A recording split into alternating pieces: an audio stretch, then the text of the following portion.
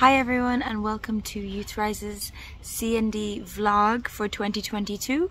Today marked the beginning of the 65th session on the Commission on Narcotic Drugs. I started with uh, the Increasing Social Capital Through Protective Factors of Drug Use Initiation side event. Um, this was focused mainly around the Icelandic model of prevention. Um, so they spoke about young people a lot um, the most of it was talking about how to um, prevent young people from getting into um, drug use and um, how they are the most vulnerable. Representatives from Iceland and the UNODC spoke about um, how there is huge amounts of juvenile um, drug use in Iceland and the approaches of scaring youth away didn't work. Um, which we we know did not work for a long time now.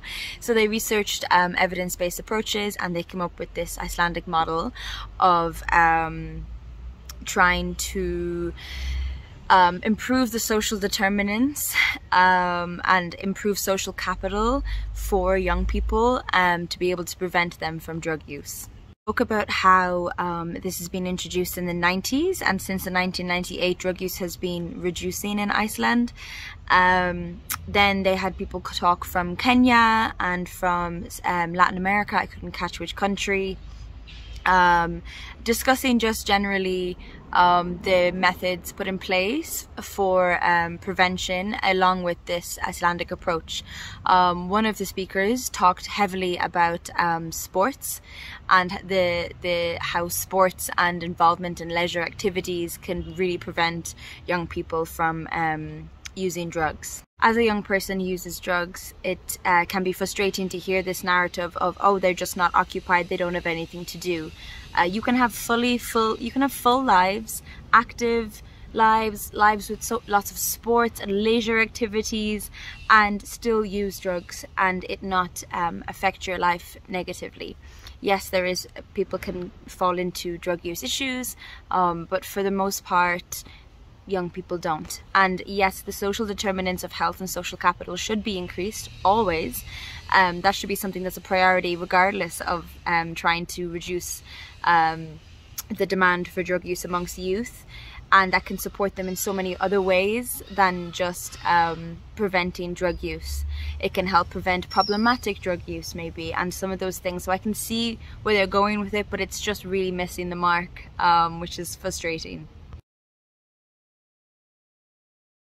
The government of Sweden today hosted a side event entitled Mainstreaming a Gender Perspective in the Treatment of Drug Use Disorders. This is of particular relevance to a lot of the work that Youth RISE has been doing recently, uh, including our position paper last year on young women who use drugs and our side event, which is on Thursday, uh, which is following up on that and presenting uh, a panel entirely made up of young women who use drugs to discuss the needs of young women who use drugs. So by comparison, this side event I don't think had a single woman who uses drugs on it. Um, and it was exclusively focused on uh, the gender perspective in treatment of drug use disorders. So the lack of community involvement is maybe unsurprising, uh, if still disappointing. Uh, there was speakers from a variety of backgrounds, including one from the Swedish delegation, um, one who was working in service provision, uh, a World Health Organization speaker, and a speaker from the UN Office on Drugs and Crime. So these speakers talked about a variety of issues, including gender-based violence being experienced by women who use drugs, um, the need for yeah, a gender-sensitive response, um, and the need for safe spaces in harm reduction services, as well as recognition of women's roles, which may differ from those of their male peers, uh, including childcare responsibilities, among other things. The uh, continual reference to gender sensitive responses and also references to intersectionality uh, was welcome, but I found it a little bit disappointing that despite this sort of progressive language, um, all speakers continually referred to women and men without any consideration for people who do not fall into this binary gender category.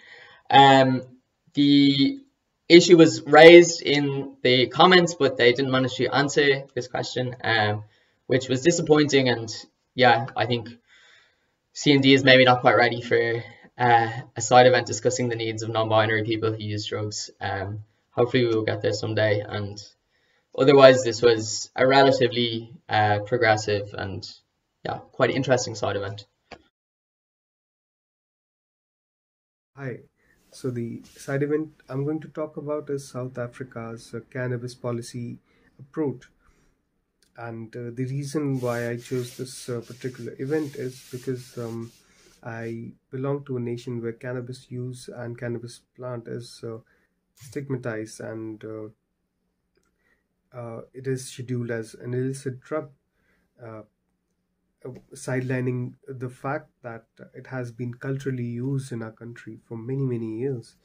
Uh, so, the whole purpose of this uh, webinar was to highlight the efforts made by the civil society members, uh, the government, uh, to to fight the the, the problem of drugs in, in South Africa. Um, the first and foremost problem was uh, uh, rescheduling of cannabis uh, cannabis plant as a Schedule Seven drug to a Schedule Six drugs, which would make it easier for for for legalization purpose and also uh, it would make it easier for scheduling and control of uh, of the cannabis uh, in, uh, market itself because uh, once the the the substance is, has a market so obviously it needs to be regulated through certain norms and in this case uh, a, a, particular THC and CBD oil a percentage was uh, um, permitted uh, for for the market. So with uh, with the uh, major objective of uh, protecting the patients against illicit drugs and from potential diseases out there. So this was initiated to sort of uh, um, collectively bring together the needs of people who who are in entire need of uh, medicinal cannabis. Uh, so it had it had to be started from somewhere, and eventually it started with uh, decriminalizing personal possession of cannabis use uh, in in case of South Africa, and this uh, this whole uh, approach was achieved by by engaging stakeholders and to to address the implication and way forward uh, for people who use drugs uh, for for them to choose safer alternatives um, to to live a healthier life um, and this wouldn't have been possible without uh, without considering Germany, Australia, and Canada in in in in, in the whole debate because obviously they have been an inspiration when it comes to legalization. Uh, so what was being done uh, for for to achieve uh, these this um, legalization? There were there were some key points which was discussed, which which which goes like removal of cannabis plants from Schedule 7 to Schedule 6 or lower uh, uh, hierarchy, uh, listing of psychoactive substances, THC in Schedule 6, CBD is listed in either Schedule 4 or 0 depending on medicinal claims. So, another side event I attended today is drug trafficking through gender lenses, women's involvement and impact on their lives. This was organised by the UNODC Drug Research Section.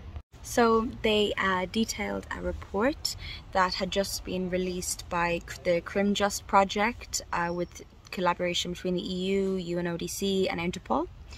Um, so some of the um, data that I found interesting from this report um, was that, and obviously, um, cocaine use has increased over the past um, number of years, and it was good that they noted that drug trafficking impacts men and women differently. Liked that they um, spoke about the need to focus on the social determinants um, behind women's involvement in drug trafficking. They did speak to the, about them um, not just as victims and vulnerable people, but also as people who have autonomy, but due to social determinants have to make decisions um, that support them, their lives, their family, etc data was that um, for most women, the decision to become involved in drug related activities is shaped by limited choices, um, even though it is often voluntary. Women work longer hours for lower or no pay, less opportunities to enter the labour market. Um,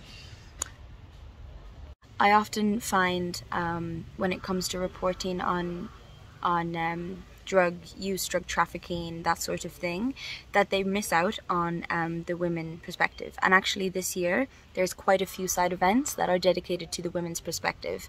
Um, so I'm looking forward to attending as much of those as I can, um, because Youth RISE also has a panel on Thursday, a side event on um, breaking the barriers for young women who use drugs and the perspectives and challenges that we have. Uh, so it'll feed in nicely to see how other people are talking about the gender perspective in drugs and drug use, drug policy and drug trafficking, etc. Um, like this event.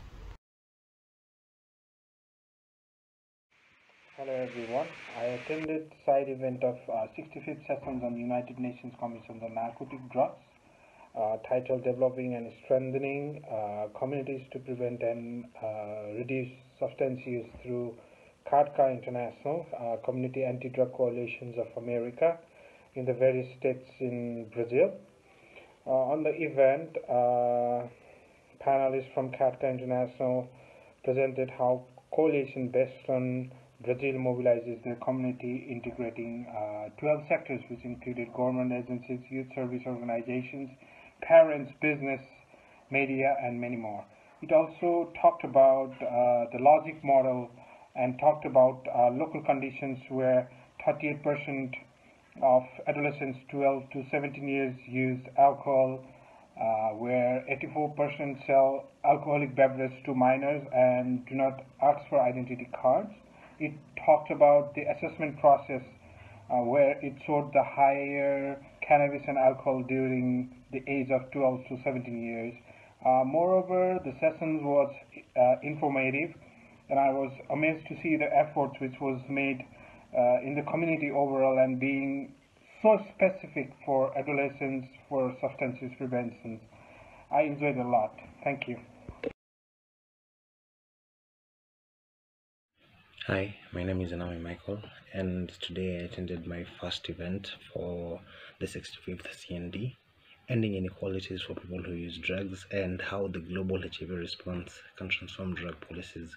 Here we had different speakers from around the world, and they were based their discussions around the targets, the 10 10 10 and the 80 60 30 targets, and they looked at the barriers and possible solutions what governments can do, what uh, different stakeholders can do, what communities can do.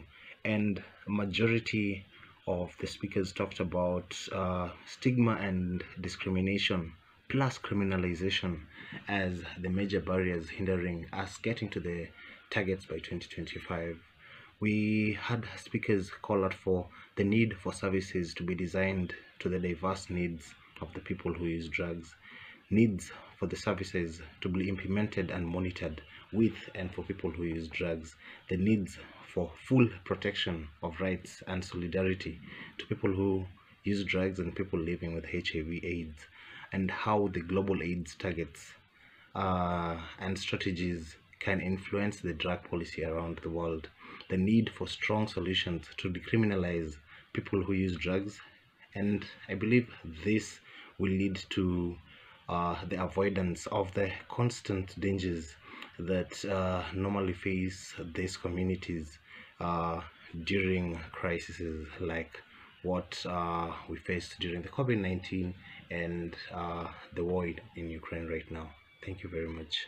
Our friends at the International Network of People Who Use Drugs today hosted a side event entitled Ending Inequalities for People Who Use Drugs how the global HIV response can transform drug policy and vice versa.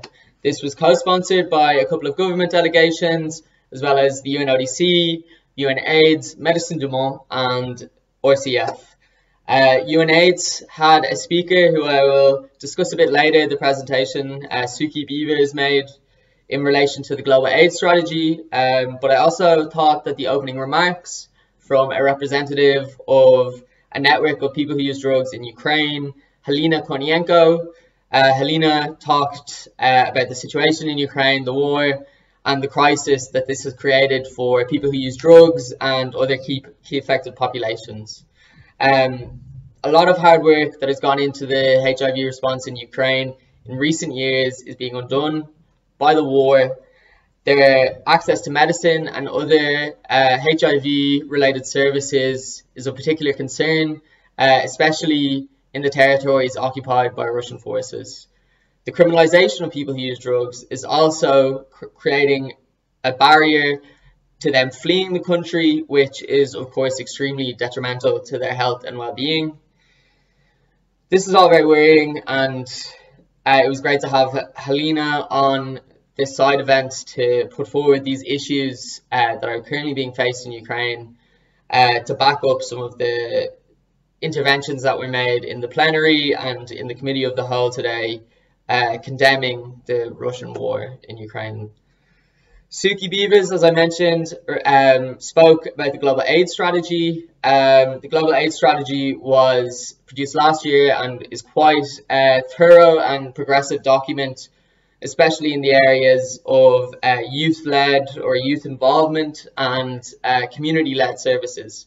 So Suki discussed the need to fund community-led responses, uh, the disparities that we're currently seeing in funding for harm reduction services and community-led responses, and the need to ensure that the community is involved in the decision-making process. So in particular, she pointed to the disparity in reporting of community involvement between governments and uh, civil society slash community so the government was reporting a much higher level of community engagement, especially for people who use drugs and prisoners, uh, than was being reported by civil society, community, the people who are actually doing this work. So stuff like that is quite concerning, uh, especially with the global AIDS strategy being quite ambitious and unfortunately needing to be quite ambitious if we are to get near our goal of ending AIDS by 2030.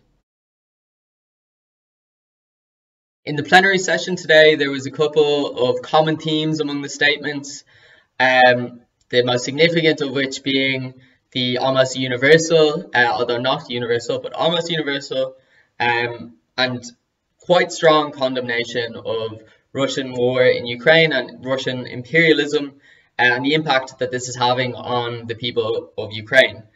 Uh, France, in particular, uh, on behalf of the EU, uh, made a very strong statement in this regard uh, condemning the war in, in, Ukraine very strongly. Uh, they spent a lot of time talking about this. A lot of this speaking time was used up talking about the war in Ukraine, and in general, uh, yeah, a lot more time was used up talking about this than what I imagined. Uh, I thought that most countries would reference it at the beginning, but not use such strong language and devote so much of their speaking time to it. Uh, France, on behalf of the EU again, also called for an end to the death penalty, which is quite standard every year, for the EU, um, and there's still the death penalty for drug-related offences, uh, despite all of these years trying to call to end it. So um, yeah, it's kind of lacking impact, perhaps, um, and it says a lot when the bar is so low that calling to end the death penalty is is quite a radical statement in CND. Uh, Switzerland also made quite a good statement. Um, they called for the protection of the human rights of people who use drugs uh, in particular and in general were um, yeah, focusing much more on the health-based uh, approach to drug policy. Um, the UK, they also spoke uh, about Russia and Ukraine and expressed solidarity with the people of Ukraine. Uh, this is despite their policies uh, yeah, stating otherwise in terms of allowing Ukrainian refugees into the country. Uh, when they talked about drug policy in their statement, uh, they continued sort of this tough on crime rhetoric that the Conservative government in the UK have been pushing for quite a while. Um, and this was this was quite disappointing to see and is really outdated um, yeah, rhetoric that you can arrest your way out of um, this drug problem, if you want to call it that.